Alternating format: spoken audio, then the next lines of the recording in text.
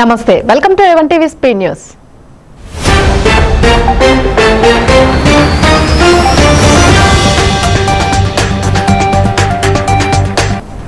AP CM YS Jagan ప్రభుత్వ ఆసుపత్రులపై private ఆసుపత్రులపై సీరియస్ అయ్యారు. ప్రైవేట్ ఆసుపత్రుల దోపిడీపై సీరియస్గా స్పందించిన ఆయన కఠిన చర్యలు తప్పవని వార్నింగ్ ఇచ్చారు. వరదలు కోవిడ్ ఇళ్ళ పట్టాలు ఉపాధి హామీ పనులు నాడు నేడు వంటి అంశాలపై సమీక్ష నిర్వహించారు. ఈ సందర్భంగా ఆయన ఒక మంచి కార్యక్రమం చేద్దామంటే శత్రువులు ఎక్కువైపోయారని అన్నారు జగన్. ఇళ్ళ పట్టాల పంపిణీ చంద్రబాబు ఆయన పార్టీ నేతలు నానా రకాల కేసులు వేసి అడ్డుకుంటున్నారని మండిపడ్డారు. ఆలస్యమైన చివరకు న్యాయమే గెలుస్తుందని అన్నారు జగన్.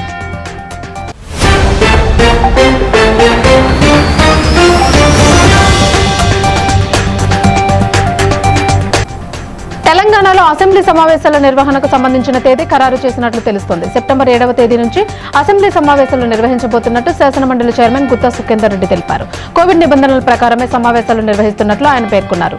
అసెంబ్లీ ఎంట్రన్స్లో ఆటోమేటిక్ థర్మల్ స్క్రీనింగ్ను ఏర్పాటు చేస్తున్నట్టుగా గుత్తా సుఖేందర్ పేర్కొన్నారు. ప్రతి ఒక్కరూ భౌతిక దూరం పాటించేలా చర్యలు తీసుకుంటున్నట్టు ఆయన తెలిపారు.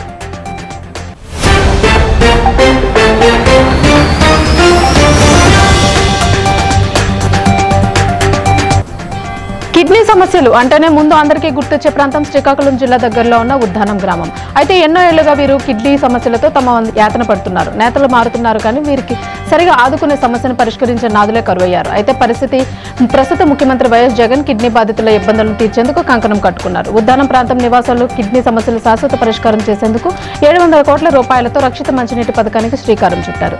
నాయకులు అని చెప్పుకునే చాలా మంది వచ్చారు కానీ హడావిడి చేసి వెళ్ళిపోతున్నారని పరిష్కారానికి ముందుగా ముందడుగు వేసే ఏకైక ప్రజానాయకుడు ముఖ్యమంత్రి జగన్ అని విజయసాయిరెడ్డి ఈ విషయాన్ని గుర్తు చేస్తూ ఈ ట్వీట్ చేశారు.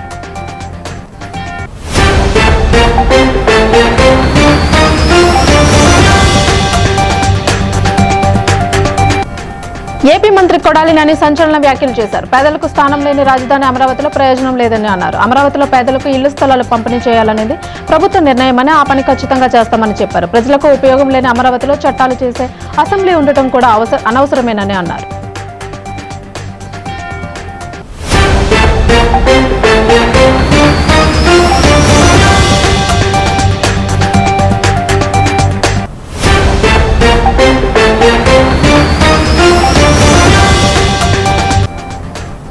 జాతీయ ప్రధాన కార్యదర్శి మాజీ మంత్రి నారా లోకేష్ జనాల్లోకి వెళ్ళాలని ప్లాన్ చేస్తున్నారా? పాదయాత్ర కుదరదని పక్షంలో సైకిల్ యాత్ర చేయాలని అనుకుంటున్నారు. అంటూ సోషల్ మీడియాలో తెగ చర్చలు జరుగుతున్నాయి. కొద్ది రోజులుగా లోకేష్ సైకిల్ యాత్ర చేయబోతున్నారని ప్రచారం జరుగుతోంది. కొంతమంది ఒక అడుగు ముందుకు వేసి పాదయాత్ర చేయబోతున్నారని కూడా చెబుతున్నారు.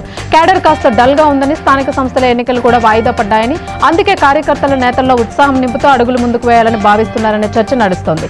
ఇకపై జనాల్లోకి వెళ్ళాలని లోకేష్ ఫిక్స్ అయ్యారని అందుకే యాత్ర ప్రారంభించేందుకు సిద్ధమవుతున్నారనే లాజిక్ వినిపిస్తున్నాయి పచ్చతమ్ముళ్ళు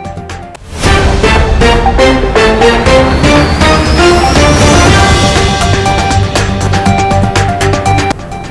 ఎమ్మెల్సీ ఎన్నికల బరిలో దిగాలని ప్రొఫెసర్ కోదండరాం సారథ్యంలోని తెలంగాణ జనసమితి నిర్ణయించింది. కోదండరాం నేతృత్వంలో నిన్న నాంపల్లి పార్టీ కార్యాలయంలో పొలిటికల్ అఫైర్స్ కమిటీ సమావేశమైంది. వచ్చే ఏడాది పట్టభద్రుల కోటాలో రెండు ఎమ్మెల్సీ స్థానాలకు ఎన్నికలు జరగనుండడంపై సమావేశంలో చర్చించారు. వరంగల్ ఖమ్మం నల్గొండ నుంచి కోదండరాం బరిలోకి దిగితే బాగుంటుందని నేతలు అభిప్రాయాన్ని వ్యక్తం చేశారు.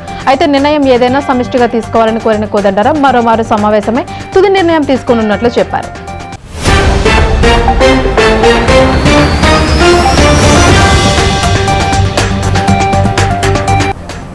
తాజాగా జరిగిన కాంగ్రెస్ ఈడబ్ల్యూసీ సమావేశం పార్టీ భవిష్యత్ అధ్యక్షుడిపై ఎటువంటి నిర్ణయం తీసుకోకుండానే ముగిసిన నేపథ్యంలో విజయశాంతి తన అభిప్రాయాన్ని ట్వీట్ చేశారు. కాంగ్రెస్ పార్టీకి రాహుల్ గాంధీ నాయకత్వం వహించాలని ఆయన మినహా మరెవరు పార్టీని నాయకత్వం వహించలేరని తెలంగాణ ప్రదేశ్ కాంగ్రెస్ ప్రచార కమిటీ చైర్మన్ సినీ నటి విజయశాంతి ఈ మేరకు తన ట్విట్టర్ ఖాతాలో ట్వీట్ చేశారు.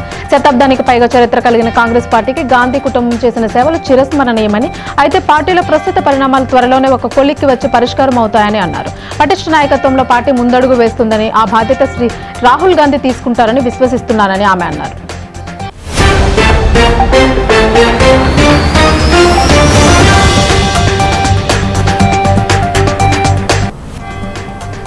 నేపథ్యంలో ప్రజా రవాణాకు తీవ్ర అంతరాయం ఏర్పడింది. చిన్న చితక ఉద్యోగాలు చేసుకునే మధ్యతరగతి వారు అలాగే కరోనా సమస్యతో సొంత ఊళ్ళకు వెళదామనుకునే వారు బస్సులు లేక నానావస్తులు పడుతున్నారు.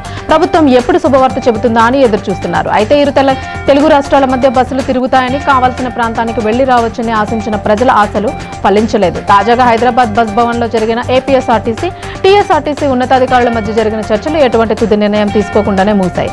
ఏ రాష్ట్రం నుంచి ఎన్ని బస్సులు తిప్పాలన్న విషయంపైన రెండు రాష్ట్రాల అధికారుల మధ్య ఏకాభిప్రాయం కాలేదని తెలుస్తోంది. ఈ విషయంలో మరో వారం రోజుల్లో ఇంకోసారి సమావేశమే చర్చ జమన్న నిర్ణయం మినహా మరే ఇతర నిర్ణయాలు అధికారులు తీసుకోకుండానే చర్చలు ముగిశాయి. ఇంకో వారంలో జరిగే చర్చల్లోనైనా సమావేశం తొలి బస్సులు తిరుగుతాయేమో అని చూడాల్సిందే.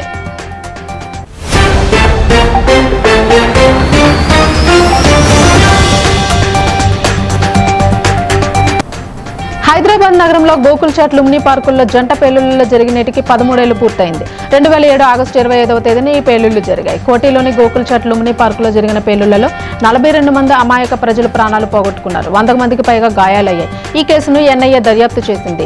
ఎన్బీఏ ప్రత్యేక కోర్టు పేలుళ్ళు పాల్పడిన ఐదుగురు నిందితుల్లో ఇద్దరికి ఇప్పటికే శిక్షను ఖరారు చేసింది. జంట పేలుళ్ళకు తామే కారణమని ఇండియన్ ముజాహిద్ సంస్థ పేర్కొనగా ఈ కేసులో వారికి శిక్ష ఖరారు చేసినా ఇప్పటి వరకు తీర్పు అమలు కాకపోవడం విశేషం.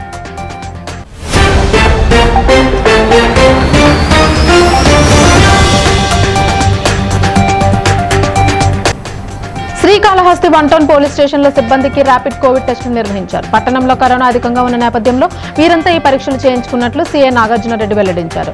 ఈ వైరస్ పై ప్రజలంతా అప్రమత్తంగా ఉండాలని ఆయన కోరారు. ఈ కార్యక్రమంలో SI Sanjay Thottambedu one town police సిబ్బంది పాల్గొన్నారు.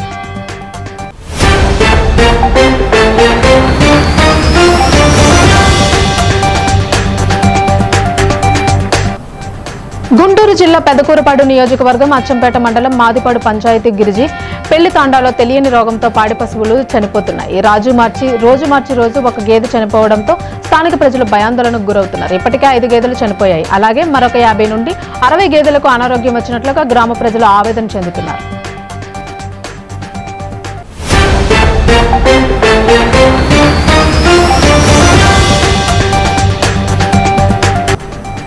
కరోనా వ్యాప్తి దృష్ట్యా మార్చిలో విధించిన ప్రయాణ ఆంక్షలకు కర్ణాటక ప్రభుత్వం సవరించింది. అన్ని రాష్ట్రాల నుంచి ప్రయాణికులపై ఏ విధమైన ఆంక్షలు ఉండబోవని సరిహద్దుల్లో కేవలం స్క్రీనింగ్ మాత్రమే జరుగుతుందని తెలిపింది. పద్నాలుగు రోజులు తప్పనిసరి క్వారంటైన్ నిబంధనలను తొలగిస్తున్నామని పేర్కొంది. ఈ మేరకు రాష్ట్ర ఫ్యామిలీ వెల్ఫేర్ మంత్రిత్వ శాఖ అదనపు కార్యదర్శి జావేద్ అఖ్తర్ ఉత్తర్వులు జారీ చేసినట్లు తెలుస్తోంది. సరిహద్దుల్లో ఎవరికైనా లక్షణాలు కనిపిస్తే సెల్ఫ్ ఐసోలేషన్ తప్పనిసరి అని కరోనా సోకకుండా రాష్ట్రానికి వచ్చే ప్రతి ఒక్కరూ రెండు అడుగుల భౌతిక దూరం ఫేస్ మాస్క్ తప్పనిసరిగా ధరించాలని తరచూ చేతులను శుభ్రం చేసుకోవాలని ఆయన వెల్లడించారు. కరోనా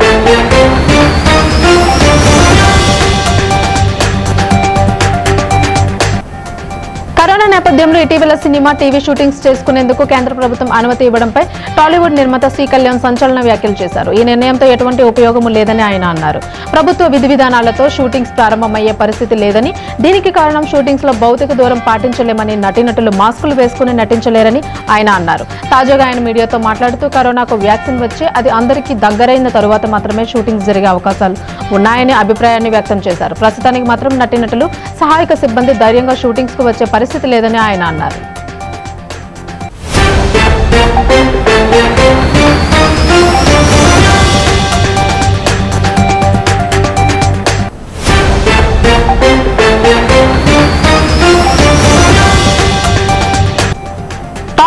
ప్రస్తుతం పెళ్ళిల సీజన్ నడుస్తుంది. నితిన్ నిఖిల్ రానా తదితరులంతా ఇటీవల ఒక ఇంటి వారైపోయారు ఇప్పుడు మరో మోస్ట్ ఎలిజిబుల్ బ్యాచులర్ సర్వానంద్ వంతు వచ్చేసింది. తన చిన్ననాటి స్నేహితురాలిని శర్వా పెళ్ళాడబోతున్నట్టు ఫిల్మ్ నగర్లో టాక్.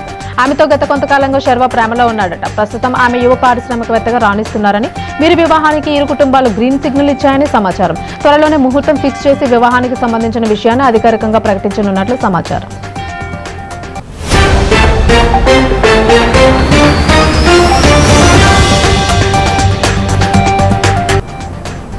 మహారాష్ట్రలోని రాయగఢ్ జిల్లాలో కుప్పకూలిన భవనంలో జరిగిన ప్రమాదంలో సహాయక చర్యలు కొనసాగుతున్నాయి. ఇక్కడ ఇక్కడ ఐదంతస్తుల భవనం నిన్న ఒక్కసారిగా కుప్పకూలింది. ఈ ఘటనలో ఒకరు మరణించగా ఏడుగురు గాయపడ్డారు. శిథిలాల కింద పలువురు చిక్కుకుపోయారు. ఘటనా స్థలానికి చేరుకున్న ఎన్డీఆర్ఎఫ్ బృందాలు సహాయక చర్యలు ప్రారంభించాయి. శిథిలాల కింద చిక్కుకున్న వారిలో ఇప్పటి వరకు అరవై మందిని రక్షించగా ఇంకా ముప్పై మంది వరకు చిక్కుకుని ఉంటారని భావిస్తున్నారు. గాయపడిన వారిని ముంబై ఆసుపత్రికి తరలించినట్లు అధికారులు పేర్కొన్నారు. భవనం కూలిన సమాచారం అందుకున్న వెంటనే ఘటనా స్థలానికి చేరుకుని రాష్ట్ర మంత్రులు అతిథి ఠాట్కేర్ ఏక్నాథ్ షిండేలు సహాయక చర్యలు పర్యవేక్షించారు.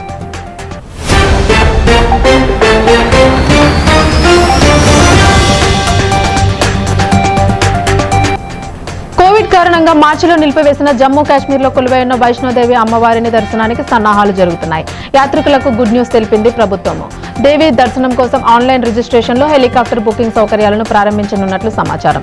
ఆగస్టు నుంచి సెప్టెంబర్ వరకు భక్తులకు ఆన్లైన్ యాత్ర రిజిస్ట్రేషన్ అవకాశం కల్పించనున్నట్లు సీఈఓ రమేష్ కుమార్ తెలిపారు. ఆగస్టు ఒకటిన తేదీన యాత్రను పునఃప్రారంభించిన తర్వాత కోవిడ్ నెగిటివ్ రిపోర్ట్ వెంటనే ఆలయంలోకి భక్తులు ప్రవేశం కల్పిస్తామని ఈవో తెలిపారు. ఇతర రాష్ట్రాల నుంచి వచ్చే భక్తులు నెగిటివ్ రిపోర్ట్ తీసుకురావాలని ప్రయాణానికి పద్దెనిమిది గంటల ముందు తీసిన రిపోర్ట్ ఉండాలని ఈవో చెప్పారు. ఆన్లైన్ రిజిస్ట్రేషన్ ఉన్న భక్తులు మాత్రమే ప్రవేశం కల్పిస్తున్నామని అన్నారు.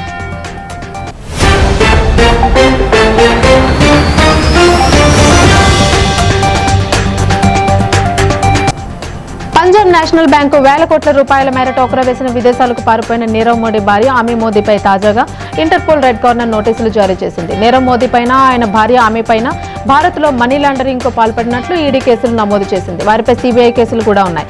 ఈడీ సీబీఐ కేసులున్న నేపథ్యంలో ఆమెపై రెడ్ కార్నర్ నోటీసులు జారీ అయ్యాయి. ఇక ఆమె ఏ దేశంలో ఉన్నా అరెస్ట్ చేయవచ్చని అధికారులు వెల్లడించారు.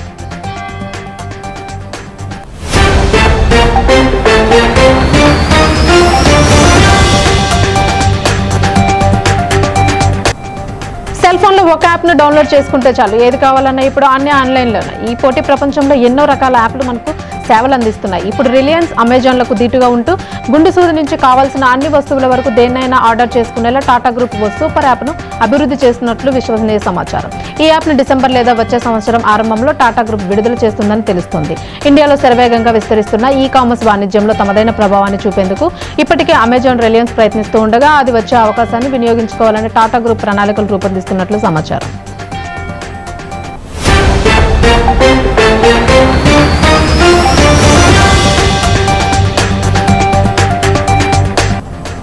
భవన నిర్మాణం కోసం కొందరు యువకులు గోతులు తవ్వుతూ ఉండగా కొద్ది లోతులో వారికి మట్టి పాత్ర కనిపించింది. అందులో ఆకుల్లా పలుచుగా ఉన్న వస్తువులు కనిపించాయి. ఆసక్తిగా మట్టిని తొలగించి చూడగా జిగేల్మన్ మెరుస్తూ బంగారు నాణేలు కనిపించాయి. ఒకటి కాదు రెండు కాదు నాలుగు వందల ఇరవై ఐదు బంగారు నాణేలు. ఆ మట్టి పాత్రలు లభ్యం కావడంతో వారు ఆశ్చర్యానికి గురయ్యాయి ఇజ్రాయెల్లోని యాన్య పట్టణంలో ఈ లంక బిందెలు బయటపడ్డాయి. భవన నిర్మాణం కోసం కొందరు యువకులు గోతులు తవ్వుతూ ఉండగా ఇవి లభ్యమైనట్లు వారు తెలిపారు. ఇక పురావస్తు శాఖ వాటిపై పరిశోధనలు జరిపి నాటి కాలంలోనే ఈ బంగారు నాణేలు ఎంతో విలువైనవి ఉండేవని రాబర్ట్ కూల్ అనే నాణ్యాల నాణ్యాల నిపుణుడు తెలిపాడు. దాదాపు ఒక వెయ్యి వంద ఏళ్ళ క్రితం ఈ నాణేలు మట్టి కుండలో ఉంచి పాతిపెట్టి ఉంటారని తర్వాత తీసుకొచ్చే ఉద్దేశంతో భూమిలో దాచినా ఎందుకో తీసుకోలేకపోయారని ఆయన చెప్పారు.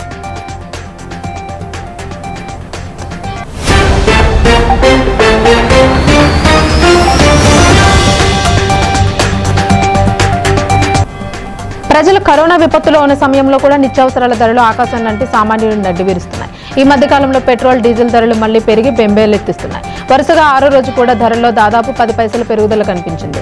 కరోనా వైరస్ విజృంభణ నేపథ్యంలో యూఎస్ గల్ఫ్ తీరంలో వ్యాపారులు భారీగా ఉత్పత్తి కోతలు విధించిన నేపథ్యంలో ధరలు పెరుగుతున్నాయని వ్యాపార నిపుణులు చెబుతున్నారు. తాజాగా ఈ రోజు పెట్రోల్ ధర హైదరాబాద్లో ఎనభై నాలుగు రూపాయలకు చేరగా డీజిల్ ధర ఎనభై పాయింట్ పదిహేడు రూపాయలకు చేరింది.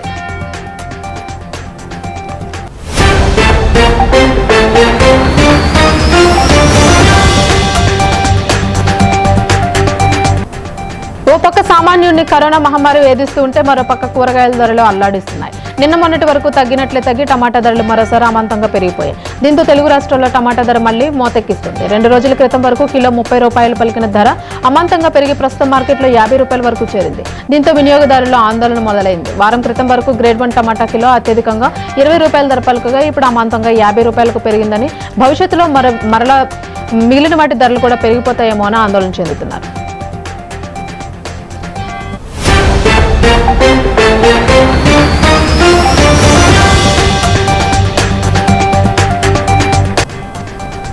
జిల్లా గాజువాక నియోజకవర్గంలో కొండచిలువ హల్చల్ చేసింది. పెద్దగంటడి ఏరియాలో అకస్మాత్తుగా కొండచిలువ ప్రత్యక్షమైంది. దీనిని చూసిన ప్రజలు భయభ్రాంతులకు గురయ్యారు. వెంటనే స్నేక్ సేవర్ సొసైటీకి సమాచారం అందించారు. సొసైటీ ప్రతినిధి రొక్కం కిరణ్ కుమార్ కొండచిలువను అదుపులోకి తీసుకున్నారు. వెంటనే ఆ కొండచిలువను విశాఖ జూకు అప్పగించారు.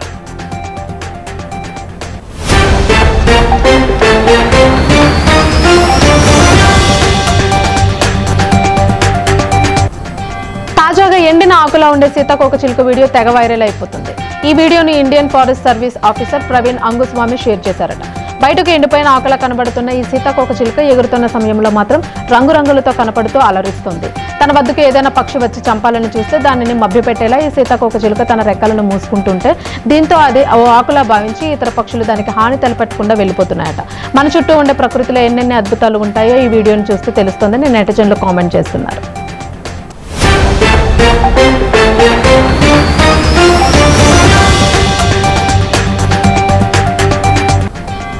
తెలుగు రాష్ట్రాల్లో కొద్ది రోజులుగా భారీ వర్షాలు కురుస్తున్నాయి. ఇప్పటికే కురుస్తున్న వర్షాల కారణంగా వాగులు నదులు పొంగి పొల్లుతున్నాయి ఇక మరో మూడు రోజుల పాటు వర్షాలు కురిసే అవకాశం ఉందని వాతావరణ శాఖ అధికారులు చెబుతున్నారు. బంగాళాఖాతంలో ఏర్పడిన మరో అల్పపీడనం బలపడి తీవ్ర అల్పపీడనంగా మారే అవకాశం ఉందని చెబుతున్నారు. తీవ్ర అల్పపీడనానికి అనుబంధంగా ఏడు పాయింట్ ఆరు కిలోమీటర్ల ఎత్తు వరకు ఉపరితల ఆవర్తనం కొనసాగుతోందన్నారు. ఉత్తర కోస్తాలో చాలా చోట్ల ఉరుములు మెరుపులతో కూడిన వర్షాల నుండి తేలికపాటి వర్షాలు కురిసే అవకాశం ఉందని తెలిపారు. దక్షిణ కోస్తా ఆంధ్ర రాయలసీమలో వర్ష సూచనలు ఉన్నట్టు అధికారులు వెల్లడించారు. Thank you.